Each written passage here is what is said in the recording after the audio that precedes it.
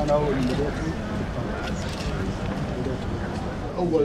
من العراق استلمت المدخرة إحنا كنا يعني فتحنا موقع وكنت أنا أتابع مع بغداد والسيد المدير العام وكان سابق قبلي مدير المصنع قبلي كنا من الأولويات ان الناس تستلم مدخره الجميع استلموا مدخره الإعمار اللي صار موقع المصنع الجهود الذاتية.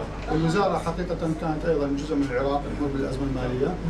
ما قدروا يهيئوا لنا بعض المبالغ. فإحنا بدينا بالإعمار بس بتقنين طبعا المبالغ. عندنا مشاكل إنه نطلب المؤسسات الحكومية ما قبل داعش يعني ديون. ديون طبعا بالمليارات. نطلب كل دوائر الدولة.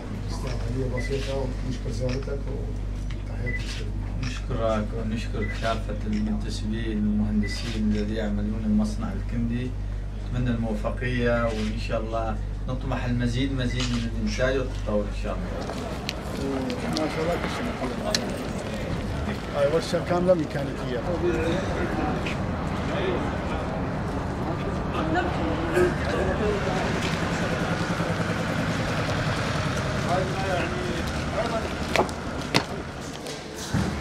طبعا هاي بناية أيضا شغل جماعتنا.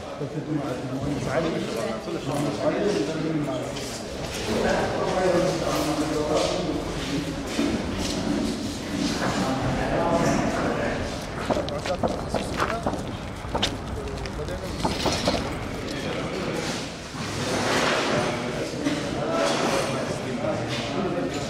مواصفات راح اشتغلتها ربع دقيقة. لا في يعني الدقه مالتها 15 بالالف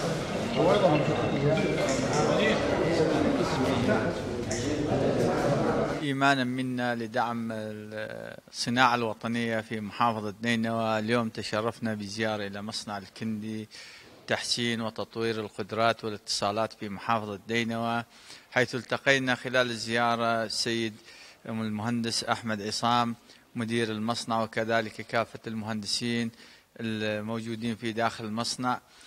طبعا بعد زيارة بعد التأهيل المصنع من جراء عمليات التخريب الذي حدث أثناء احتلال عصابات الداعش في محافظة نينوى أعادت تأهيلها الأبطال المهندسين الموجودين ضمن مصنع الكندي.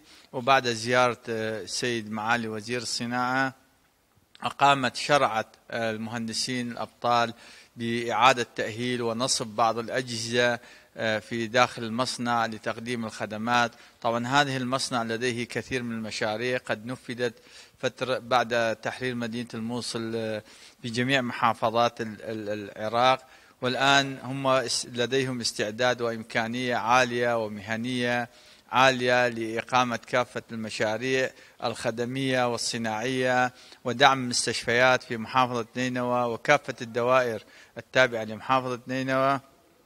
طبعا نحن بدورنا نشكر جميع المهندسين الذين ضحوا من أجل إعادة هذه المصنع وتقديم الخدمات لمحافظة نينوى ابتداء من مدير المشروع وإلى كافة المهندسين والملاحظين والإداريين والقانونيين في هذا المصنع. تشرفنا هذا اليوم بزيارة كريمة من السيد عضو مجلس محافظة نينوى والأستاذ لقمان رشيدي إلى مصنع الكندي التابع للشركة العامة لمعدات الصلاة والقدرة وتم استعراض نشاطات مصنع الكندي للسيد النائب ومن خلال الأعمال التطوعية التي قدمها مصنع الكندي لمحافظة نينوى في المستشفيات والدوائر الحكومية وكذلك تم استعراض نشاط مصنع الكندي في مشروعي تحسين معامل القدرة وإنتاج الكاميرات الفيديوية.